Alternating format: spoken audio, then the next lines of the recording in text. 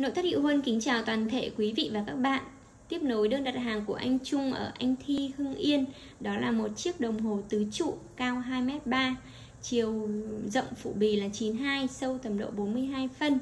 Và chiếc đồng hồ tứ trụ này chất liệu gỗ hương đá trần lõi 100% Đồng hồ máy Sunny nhập khẩu nguyên chiếc từ Hàn Quốc.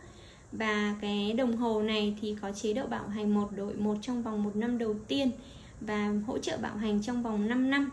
Máy cực kỳ là bền, rất là cao cấp của Hàn Quốc. Mọi người mở cái cánh ô cánh ở bên ria này ra để xem máy ở bên ria này. Và mặt cánh, mặt ván đều là liền hết, liền tấm. Và các con tiện chúng tôi, tiện lục bình với ý nghĩa rất là tốt. Cột là chặt ngọc ừ, với ý nghĩa là mang đến cho gia chủ tiền tài của cải.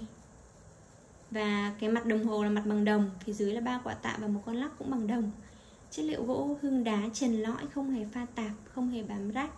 Và cái chất liệu gỗ, hương đá này ấy, thì chúng tôi hoàn thiện vô là, cùng là kỹ trên nền sơn là 707 nước sơn cao cấp nhất hiện nay.